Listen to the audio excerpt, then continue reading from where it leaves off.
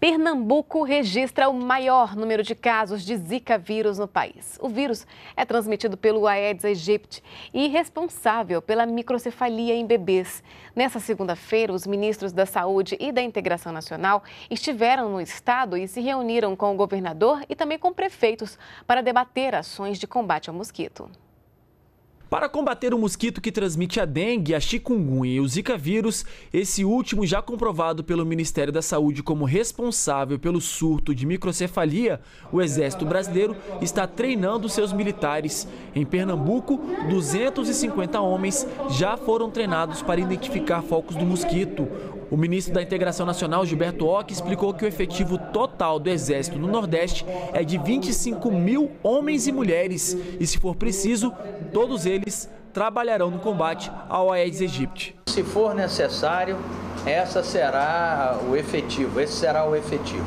Agora, é claro que, conforme disse aqui o governador Paulo Câmara, nós vamos ter um encaminhamento a ser feito a partir de hoje e que aí o Exército irá participar e, à medida em que for necessário a distribuição do seu efetivo pelas cidades, nós vamos estar fazendo isso. Segundo o ministro da Saúde, o governo federal também estuda produzir um aplicativo para celulares com acesso à internet, para que qualquer pessoa possa informar onde existe o foco do mosquito Aedes aegypti. Que as pessoas possam se interagir e comunicar toda a ocorrência, inclusive, olha, encontrei em tal lugar, né, com GPS, um foco de dengue ou que um, um, um potencial criatório, criador de mosquito.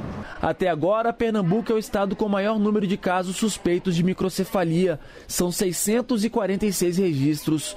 211 casos já foram confirmados.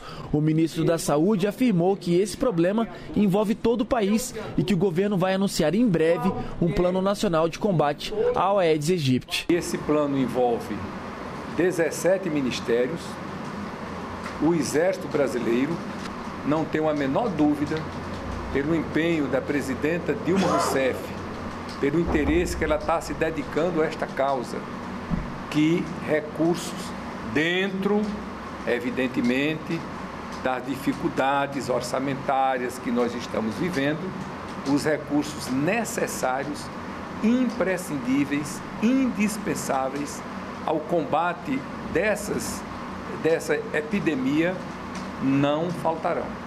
O diretor do Departamento de Vigilância de Doenças Transmissíveis do Ministério da Saúde, Cláudio Mairovic, afirmou que os Estados Unidos e Europa também estão acompanhando o caso. Solicitamos o apoio internacional na investigação e no conhecimento da doença, que era inédita no continente americano. Prontamente, esses organismos é, puseram a notícia nos seus sítios de internet e ofereceram apoio de especialistas do Centro de Controle de Doenças dos Estados Unidos, inclusive dois deles é, virão a Recife para conhecer de perto a situação.